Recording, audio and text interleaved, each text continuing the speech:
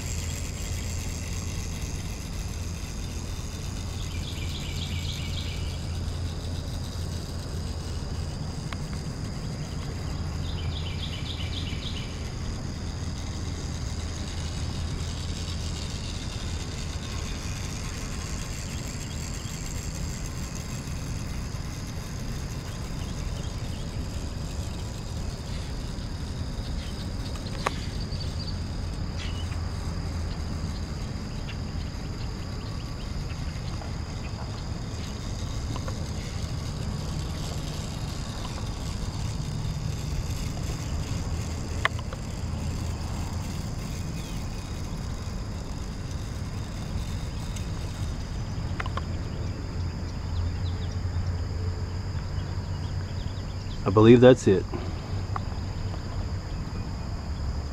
She lists a little bit to the left. He's a little more counterweight to the right. Other than that, she's all right.